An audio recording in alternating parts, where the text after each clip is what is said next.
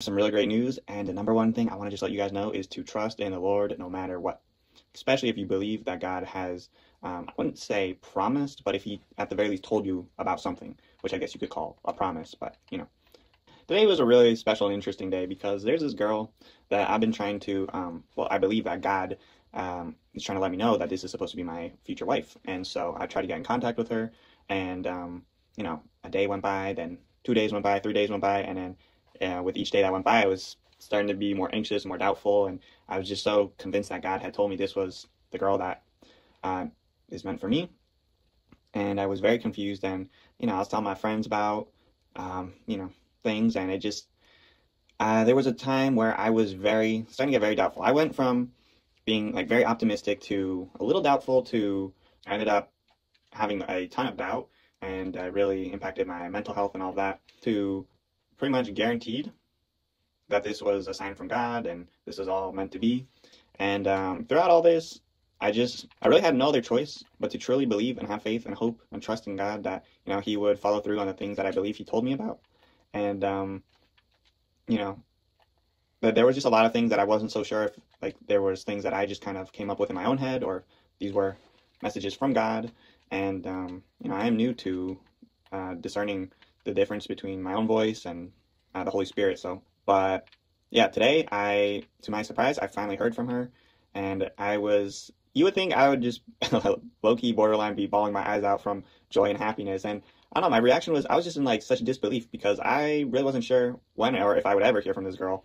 And I figured, oh, you know, uh, I'm willing to wait till New Year's because that's I asked God if you know He could bless me with um, my future wife um, by New Year's time. I'm not saying that I'm married by then and all that, but you know, like to get get things rolling, I don't typically ask God for such specific things like this and by a certain date and all that, and um, because you know God's timing is God's timing, and you know I just asked if that would be possible, but you know obviously God knows everything and I don't, so I really wasn't sure how this would all play out, let alone whether I'd even ever hear from her, because like yeah, you know how that kind of stuff can go.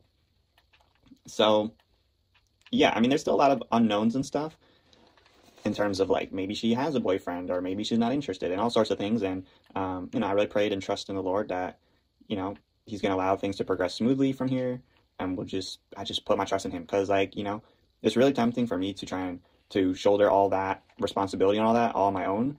Um, but I realized how complicated finding a good match is for you know a loving relationship, and it is really tough to find someone who's very compatible with you let alone um, you know making sure things play out in a good way. Um, like I would imagine it's not very difficult to really screw things up by saying something that uh, you know either comes across as offensive or just really rocks the boat.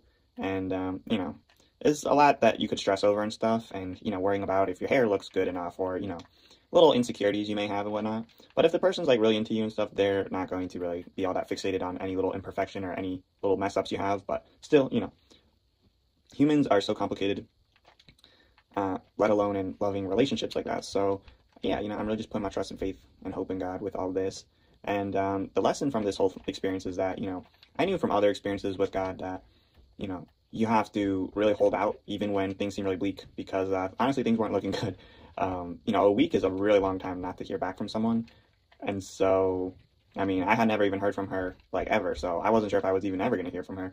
Uh, but I just had to hold on to faith, trust, and hope with God and trust that he would at least allow me to to get to know her a bit. And so it seems like that may very well be what's happening now, finally. And um, yeah, you know, it just I think today especially I was starting to really, it was just really tough to hold on to that rope of faith and hope and trust in God. And I was I was just kind of accepting defeat in many ways and just being like, you know, I don't know when this is gonna happen, if it's gonna happen, but I just trust. I just have to. Like I just have to trust in God. And um, you know, I don't know why today specifically I got to hear back from her.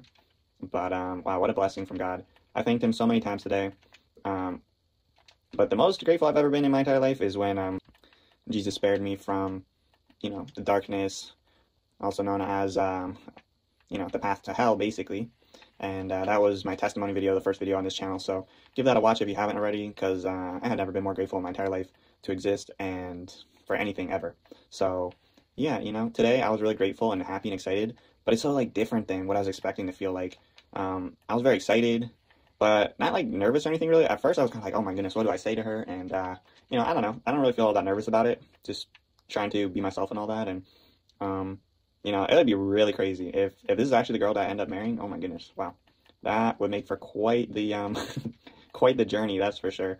So, you know, there's still a lot of unknowns and it's really easy for me to, to start doubting things. But I mean, I feel like God, at the very least, allowed things to, to, you know, play out in the way that they have so far for a reason.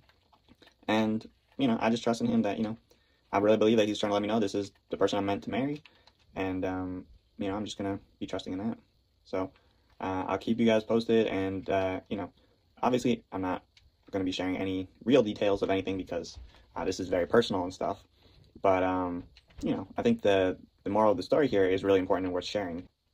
So yeah, trust in the Lord with all your heart and soul. I know it can be really tough sometimes because, you know, you're either, you're either really impatient or, you know, things aren't looking good.